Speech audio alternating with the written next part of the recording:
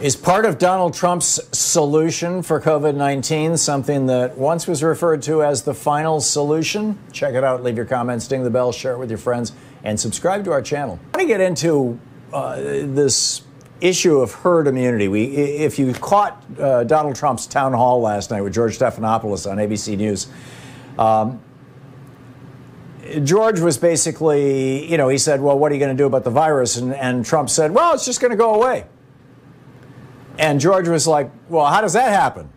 And Trump was like, Well, you know, when enough people get infected, you no longer have the disease spreading. It's called herd.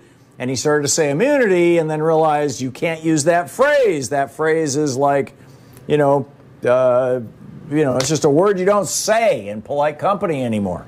You know, uh, what was it? Hancock, Hitchcock, whatever his name is. The you know the uh, the uh, health minister of the UK had used that phrase for a while, and Boris Johnson had used that phrase for a while, and they just got trashed for it. And by the way, because they you know basically pissed away months of time doing trying their herd immunity strategy and killing thousands of people in the process.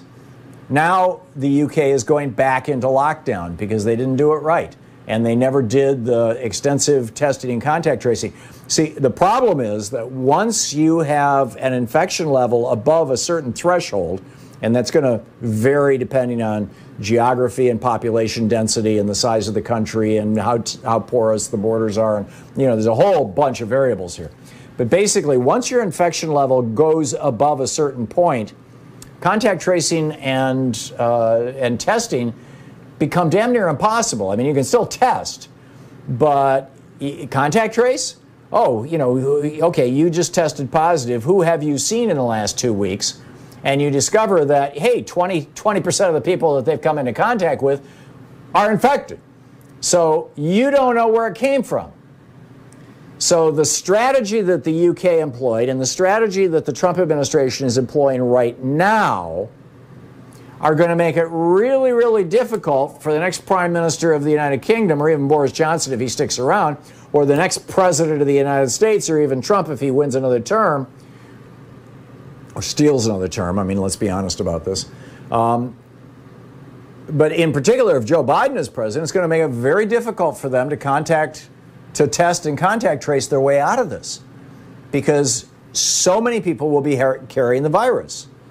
And this is, I believe, an intentional strategy on the part of the Trump administration. You will recall back in April and May and June, those of you who are longtime viewers or listeners to this program will remember very clearly my saying over and over and over again it is obvious to me that these guys are pursuing a herd immunity strategy. That whole thing, everything shifted on April 7th, as I've, as I pointed out many times. Uh, on April 7th, that was the day that suddenly we all discovered that more black people and brown people were dying from this than white people. And, uh, and in fact, it's, it's, uh, it's in the neighborhood of 80% of all the deaths now are minorities or people who have, you know, serious other conditions. And only about 20% are, are white people and uh, who are not elderly and who are dying. And, and so at that point, the Trump administration, and there have been a couple of good stories about this. They were one-day scandals that then kind of dropped into the into the into the uh, memory hole. But you know that then the Trump administration said, "Well, hey, if it's killing black people and it's killing people in blue states, and that was the argument apparently that Jared Kushner made, it's killing people in the blue states. Why are we bothering to come up with a national program?" And so they abandoned it in the middle of April and said, let's go for herd immunity. You know, uh, it's going to kill off a lot of brown and black people, and it's going to, and you know, the elderly, hey, that'll save us money on Social Security and Medicare and, and Medicaid. And so let's just do this. And that's what Trump basically said last night. Now, back in, uh, back some time before that, Trump had said something quite different. And uh, this was from five months ago. He said, and I quote, if we did follow that approach, he's talking about herd immunity, I think we'd have 2 million people dead.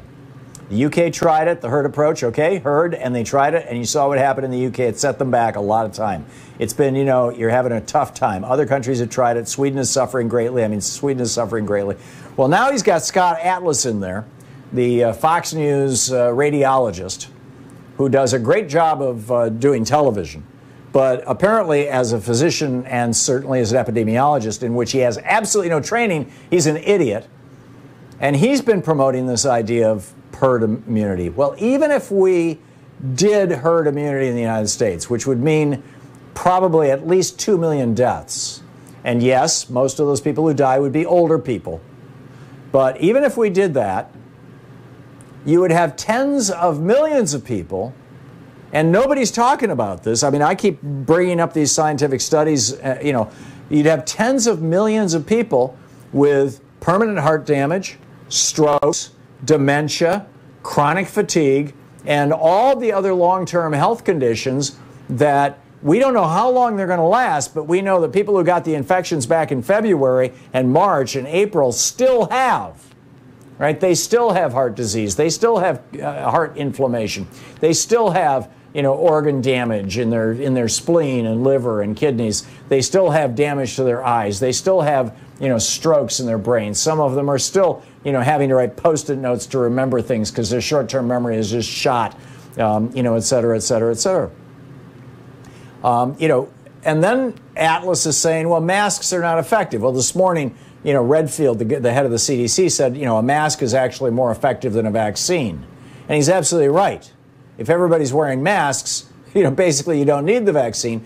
That's how Taiwan reached the point where they have not had a case of community transmission in Taiwan since April 12th. We got our first case on January 20th. They got their first case on January 21st. And they have not had a case since April 12th, and they haven't had a death in months in Taiwan because they did testing and contact tracing. But Trump, no, no, it's insane.